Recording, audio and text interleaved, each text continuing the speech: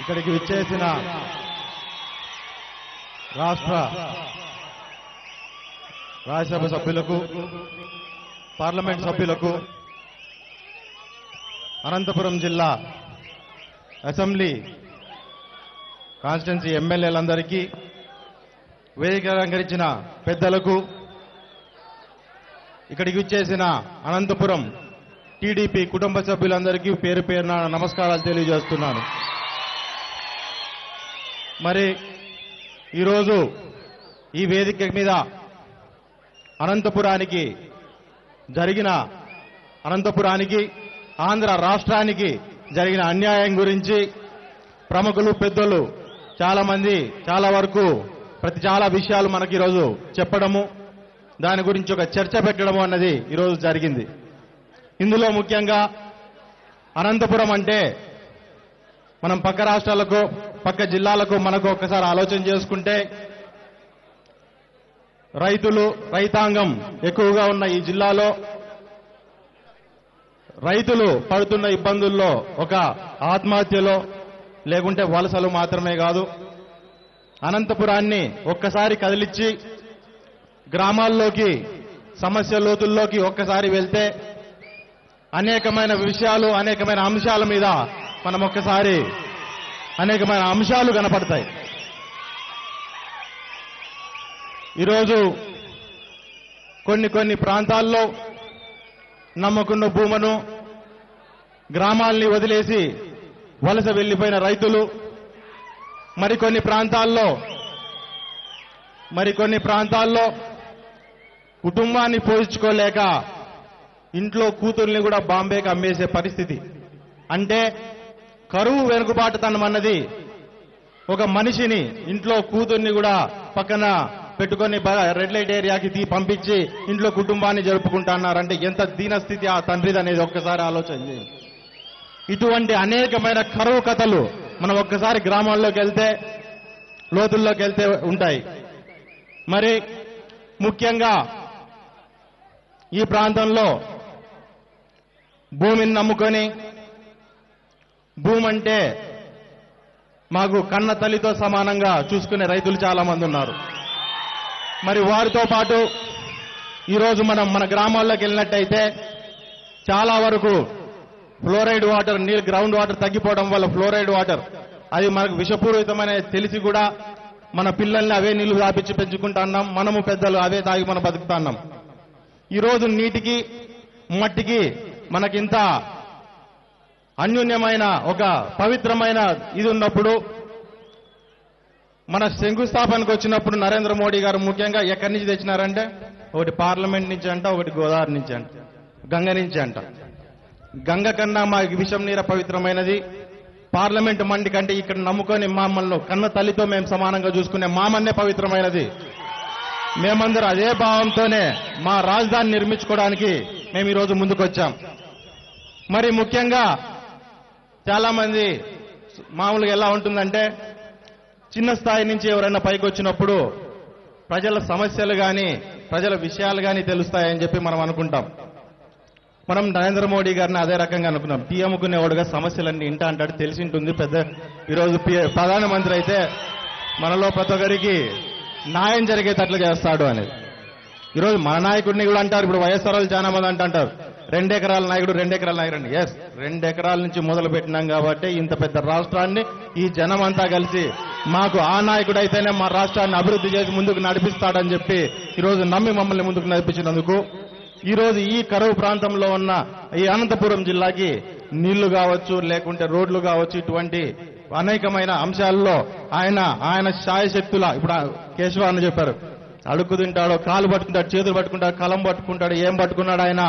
ఈరోజు అప్పులు తెచ్చి కానీ ఈరోజు మనందరినీ అన్ని వర్గాలని హ్యాపీగా పెడతానాడు అనేసి సంతోషంగా పెడతానాడు అనేసి ఆ రకంగా ఆయన కూడా ఆయన కష్టాన్ని ఆయన ముందుకు పెట్టుకొని ఈరోజు చాలా మంది ఇప్పుడు జగన్ ఉన్నాడు.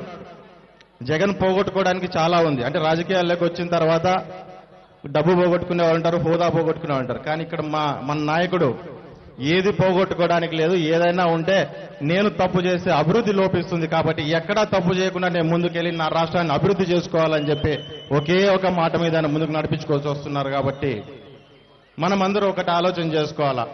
ఈరోజు మన రాష్ట్రానికి ఇంత అభివృద్ధిని అంటే మనం నాలుగేళ్ళలో మనం ఒక్కసారి వెనక్కి తిరిగి చూసుకుంటే నాలుగేళ్ళ కిందట మన పరిస్థితి ఏంది? మన గ్రామాల పరిస్థితి ఏంది? మన చుట్టూ ఉన్న పరిస్థితి ఏంది?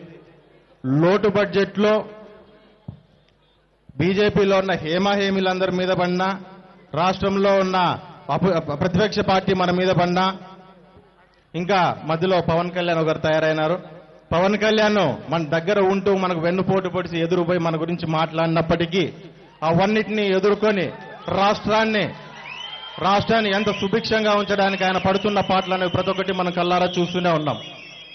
ఖచ్చితంగా ఈరోజు బీజేపీ వాళ్ళు కూడా ఒకటి ఆలోచన చేసుకోవాలా? జరగదు మనకు రెండు మూడు రోజుల నుంచి మనం ఒక వారం పది రోజుల నుంచి చూస్తా అంటే బీజేపీ వాళ్ళు జనాల్లోకి వస్తున్నారు. జనాల్లోకి వస్తా అంటే జనాల్లో నిరసనలు ఉన్నాయి. నిరసనలు ఏ రకంగా ఉంటే పేపర్లు ఇచ్చేయకపోతారు. అంటే ఏంది మా అర్జీలు మాకు స్పెషల్ స్టేటస్ ఇవన్నీ ఏంది పరిస్థితి అని అడగడానికి? అడగడానికి పోతే కొడతారు. ఒక లారీ డ్రైవర్ తన తనకు అర్థమైన రీతిలో తను నిరసన వ్యక్తం చేస్తే దాన్ని కొడతారు. ఇంకో ఆర్ఎంపీ డాక్టర్ ప్లెకార్డు పట్టుకుంటే కొడతారు. అంటే ఎప్పుడన్నా అజమాయిషి జనాలకు ప్రభుత్వం మీద లేకుంటే పార్టీల మీద ఉండాలి కానీ పార్టీలకు జనాల మీద కదా అజమాయిషి ఉండాల్సింది. ఇక్కడ బీజేపీ వాళ్ళకి నాకు తెలిసి ఆంధ్రప్రదేశ్లో రాజకీయం తప్పుగా అర్థమైనట్టుంది. వాళ్ళు ఒక్కసారి సరి చేసుకొని ఒక కరెక్ట్ రీతిలో జనాలకు గౌరవం ఇచ్చి వాళ్ళు ముందుకెళ్ళి జనాలకి ఏం కావాలి ఆ నిరసన ఏంది వాళ్ళకి ఏం అవసరం అనే దాని గురించి వాళ్ళు ఒక్కసారి ఆలోచన చేసినట్లయితే వాళ్ళకు ఆంధ్ర వాళ్ళు పడే బాధ ఏందనేది అర్థమవుతుంది. మనం ముఖ్యంగా వాళ్ళు ఇంకొకటి అర్థం చేసుకోవాలా? తెలుగు నెక్కు కదిలీకూడదు అనేది అర్థం చేసుకోవాలా? ఎవరు ఢిల్లీలో ఉండి ఢిల్లీలో ఉండేవాళ్ళు. మనం ఒకప్పుడు చరిత్ర విన్నాం. నాకు తెలిసి ఓ రెండు మూడు ఇక్కడ ఉన్న రెండు మూడు జనరేషన్లు ఎన్టీఆర్ గారు ఆ రోజు ఢిల్లీ పీటను గజగజలాడిచ్చింది ఏంటి అనేది మనం ఇంతవరకు చూడలే. వింటా అంటాం కథలు ఇంటా అంటాం మన పెద్దోళ్ళు చెప్తా అంటారు. పార్టీలో పెద్దోళ్ళు చెప్తా అంటారు ఏ రకంగా ఉందనేది. కానీ ఈరోజు మనం ప్రత్యక్షంగా చూసాం. కొన్ని రోజుల కిందట మన ఎంపీలు కావచ్చు చంద్రబాబు నాయుడు గారు కావచ్చు పార్లమెంట్లోకి అడుగు పెడితే ప్రధానమంత్రి పన్నెండు రోజులు కుర్చీలో కూర్చోడానికి భయపడిన పరిస్థితి. ఆ పరిస్థితి నుంచి కాని ఫోన్లే ఏమవుతుంది అనుకుందాం పక్క రాష్ట్రంలో నేను గవర్నమెంట్ ఫామ్ చేస్తా అని ధీమా వ్యక్తం చేసినప్పటికీ గవర్నమెంట్ ఎందుకు ఫామ్ చేసుకో? ఒక తెలుగు అక్కడ అడుగు పెట్టాడు కాబట్టి అక్కడ గవర్నమెంట్ ఫామ్ చేసుకోలేకపోయారు. ఇదే రకంగా ఎక్కువగా మీరు కదిలిచ్చి మా చంద్రబాబు నాయుడు గారిని తర్వాతకి మీరు కదిలిచ్చినారంటే ఇంకొక అడుగు వేసినాడంటే మీరు ఏ- ఏ స్థాయికి దిగజారుతారో ఒక్కసారి ఆలోచన చేసుకోండి బీజేపీ వాళ్ళంతా. వచ్చిన జనాల్ని కించపరచడమో ఏదో మాట్లాడితే ఇష్టానుసారం మాట్లాడడమో లేకుంటే సమస్యను అర్థం చేసుకోకుండా సమస్యను ఏ రకంగా ఇది కాకుండా వాళ్ళు ఏదో మాట్లాడుకుంటూ ముందుకు రావడమో కాదు. ఒక్కసారి చంద్రబాబు నాయుడు గారి గురించి కానీ మన ఆంధ్రోడి గురించి కానీ ఒక్కసారి ఆలోచన చేసినట్లయితే మా సెంటిమెంట్ అన్నది మీకు అర్థమవుతుంది. మరి దాంతోపాటు మనకు రాష్ట్రానికి రాష్ట్రంలో ఇంత ఇబ్బందుల్లో ఉన్నా మన జిల్లాకి పూర్తి స్థాయిలో ఆయన అభివృద్ధి కలిగే చంద్రబాబు నాయుడు గారి అభివృద్ధి గురించి పోరాటం చేసి మనకి ఈరోజు నీళ్ళు కావచ్చు లేదంటే ఈ రకమైన పింఛన్లు కావచ్చు ఇప్పుడు అన్న చెప్తున్నారు పింఛన్లు. ఇల్లు కావచ్చు ఇవన్నీ ఆయన లోడ్ బడ్జెట్లోనే సమస్య మీద వేసుకుని ఆయన మనకు తెచ్చిపెట్టారు కాబట్టి మనకు ఒక తల్లి తండ్రి దైవం అనేది ఏదైతే ఉంటుందో ఆ నా మూడుట్లో నాలుగో వ్యక్తిగా మన చంద్రబాబు నాయుడు గారిని కలుపుకొని ఈ జిల్లా ప్రజలు ఈ రాష్ట్ర ప్రజలు ఎప్పటికీ ఆయన గుర్తు పెట్టుకోవాలని చెప్పి కూడా ఈ సభాముఖంగా తెలియజేస్తూ మరి దాంతోపాటు మనం ఇంతవరకు మన ఎంపీలు మన రాజ్యసభ మెంబర్లు అందరూ ఢిల్లీలో పోరాటం చేయడం చూసాము.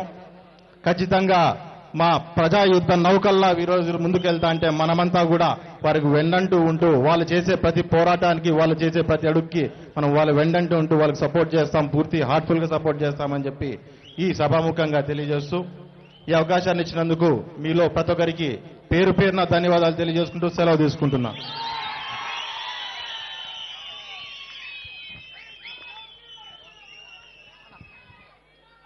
శాసన మండలి సభ్యులు సోదరులు గుండమల తిప్పేస్వామి గారు. ప్రసంగించారు